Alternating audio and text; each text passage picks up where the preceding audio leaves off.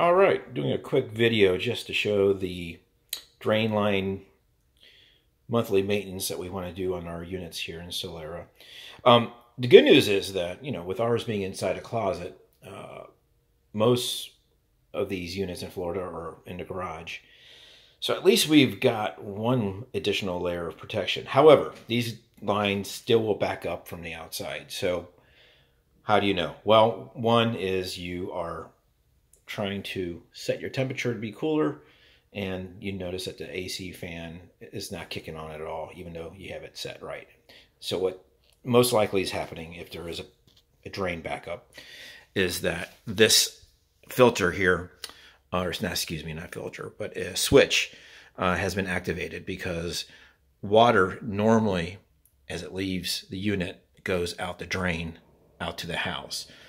This is the backup overflow and if you go ahead and pull this out, you see there's a little float right there. So if water starts to build up, uh, that float gets pushed up and then thus uh, turns off, uh, uh closes this, uh, closes the switch. So first, do note that you do want this always to be angled slightly downward. That's on purpose. So don't put it up or leave it up like that because that defeats the purpose and the switch will never be activated and the water will back up straight down. Now granted, we do have a pan uh, under our systems and, and, granted there is one more additional switch right here. So if water builds up in a pan, it will go ahead and push that float up. But you know what? Let's not tempt fate. Just go ahead and leave that sucker in the correct position. Now, so what do you, um, you've, you've confirmed because you've looked in here. Um, there's water in here. Uh, over here um, is where you can lift uh, the little cap off, and that's where you can do your monthly. You can go ahead and do your monthly vinegar.